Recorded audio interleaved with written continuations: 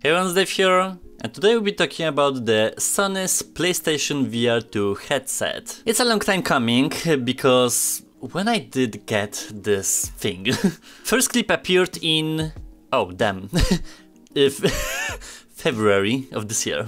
I did not realize it's been out for that long, so Okay, nice timing, Dave. so at this point of recording this, I'm already done with two whole playthroughs, so I feel like it's a good time for a review. At this point I have a relatively good idea of the headset, its capabilities and pros and cons. Normally videos like that I do in a sort of comparison style, though there's nothing to compare this around because this is my first entry into Sony's ecosystem. So instead I'll be talking about my impressions on the specs themselves, what's happening inside, recordings, pretty much everything that goes into it. ut. First, let's talk about the build itself, because there's a lot of stuff going on here. We have four cameras on the front, nothing really on the bottom or the top to track the controllers. I did not really experience any tracking issues, although you're not gonna be spinning around with it, since it's a wired headset, so this is still going in this category of struggling with the cable, even though this is attached to my ceiling right now. I feel like I also set up myself for failure because this is going mostly from the bottom, so what I do nowadays is I put this cable and go through my shirt on the back to not interfere with the gameplay when I'm reaching stuff from my shoulders. It really depends on the game itself because some have holsters that get in its way, some have no problems, but as me, a generation of people that went into VR starting with standalone, it can definitely be annoying depending on your humor.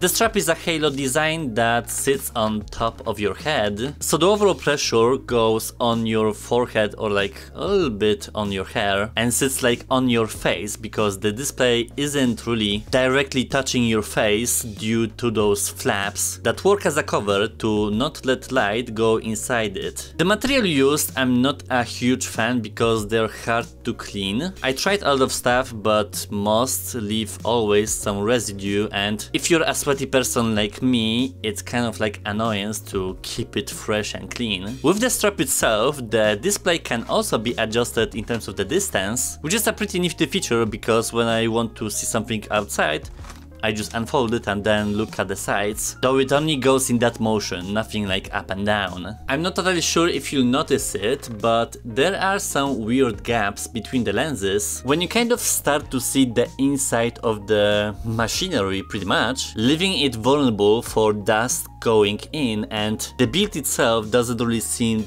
too professional and kind of like compact in comparison to the Meta headsets. But like in total, this is a durable headset, kind of front heavy, though wearing it isn't necessarily the bad side of it. Let's talk about the controls now, because we're already in the build area. It's a ball-shaped remote, which kinda works like an armband, wrapping the sensors around your hand and keeping things in a spherical area. Two buttons on your hand, joystick and a haptic trigger, which you really start to notice while playing shooters because there is some kind of force that doesn't let you press in completely, giving you another layer of immersion that you actually hold something. And there's also a grab button, very conveniently placed. My main concern is that when I don't see my hands while being in the headset and I want to like grab the controller, every kind of side fits in my hand. So I need to fiddle with it for like 30 to 1 minute to actually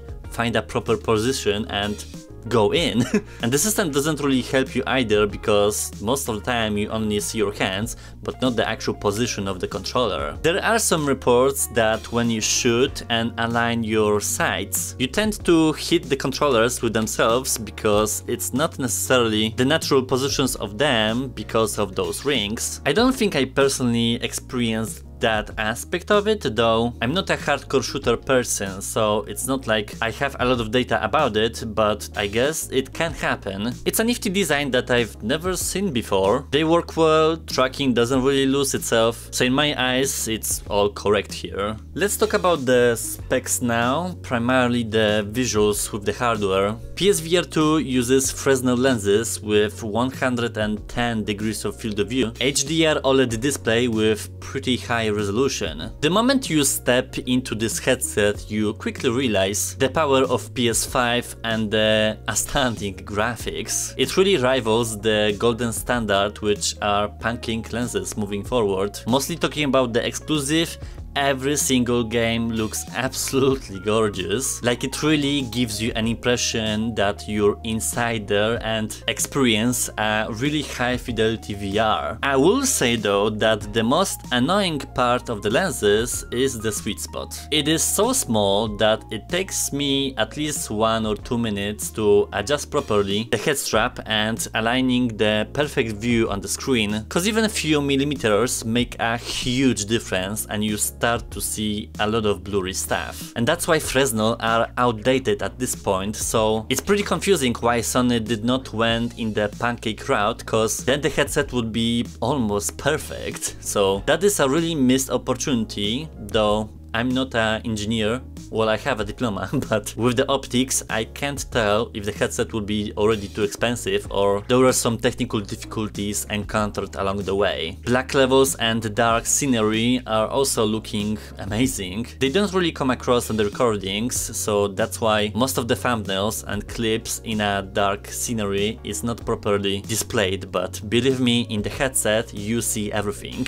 in terms of the refresh rate, we have like a standard 90 and then there's a possibility ability to reproject 60 FPS to 120 for more intense experiences that require a lot of output for a really good level of the visuals. I only learned about this term recently and inside it I didn't necessarily notice it, though I absolutely saw some frame skipping or kind of like a blur happening when I was editing the clips early on I think specifically with Horizon. I have to say that every single experience I've played on PSVR 2 for now have been very intense and there was just a lot of stuff going on at once. So maybe I was not particularly paying attention and this reprojection didn't really bother me at all, but it also depends on your sensitivity and for some it can be a deal breaker. Performance is pretty interesting here because it's pretty much flawless comparing to Quest when you can definitely notice some frame skipping and occasions when the headset is literally choking itself. this is due to PS5 and its stability is kinda crazy. Especially that and later on I'll talk about when I'm recording. There's absolutely no issue and I can do it for a longer periods of time. On top of that having an intense gaming session so Chef's kiss. I think that would be that with hardware, so let's talk about more about software. There's not that much going on and that was kinda a surprise when I went into this ecosystem. Sony didn't really, or at all, develop a VR OS, cause when you go in, you're welcomed by the black void and a floating 2D image, which is pretty much a PlayStation home, where you can launch stuff, manage files and all of that stuff. It is specifically weird for me, coming from the Quest platform, where you're very much immersed and getting transported into the other world. So it is kind of a shame that it's just an entrance to the games, but not necessarily a platform itself. With the Guardian and such, it's very much reminiscent of Quest 3 now, cause it maps out your environment by scanning with the cameras your apartment and then you're all set on for the experiences. And I will say it is way better because I've not once lost my savings and every single time it detects it automatically without any issue whatsoever even though I'm playing on my bed. So pretty impressive stuff all across the board. Pass-through is nothing to talk about really because it's black and white. It's used to detect your guardian but literally nothing else going on. the eye tracking technology in this headset is kind of a big deal. It kinda depends on the developer if they use it or not, but most do. I experienced that specifically in Horizon where the menu you can select stuff with your eyes and aiming is really driven by the distance and directions when you actually look with your eyes, which sometimes it's trippy. also foveated rendering is directly linked to it though, because the performance is kind of flawless, the whole package just makes sense with the proper gameplay. The recording section, my favorite. it's always cool to find out how the headset handles that and the possibilities around it since every single time it's a different situation.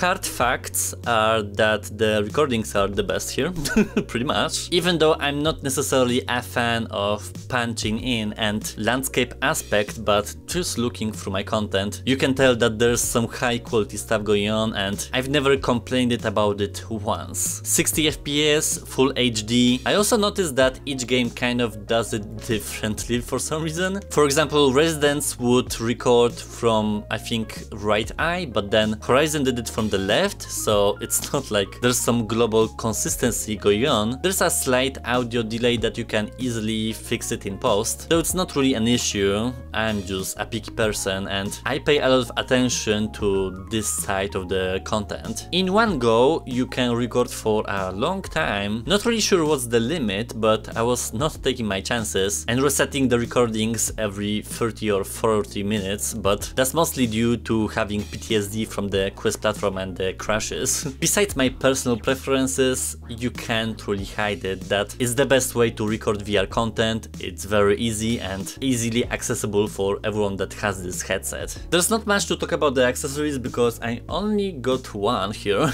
it's the dusty controller dock that pretty much is a leisure method to charge your controllers and having them sit on your shelf and just presenting themselves to the world. it's not really that necessarily to get it, I just like magnetic chargers and the convenience of it because I don't need to plug any cables. When I finish my session I just plop it in and then I'm good to go. I will say that sometimes it's hard to kind of aim this magnetic spot here, because it's not a strong force at all. It lightly clicks in and it can be easily moved, so it's not like it will hold your controllers tight, though I like it because I'm a lazy bitch, that's pretty much it.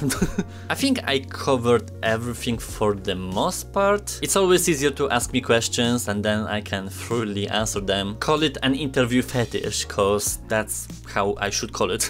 Was this whole thing worth it? That's pretty much the question, since I had to get not only the console but also this, so in total more than 100 bucks spent depending on the availability of PS5. I will say this in terms of the content and the overall ecosystem. Every single game that I've played, which were just exclusive so far, was an absolute banger and that did not happen with Quest at all.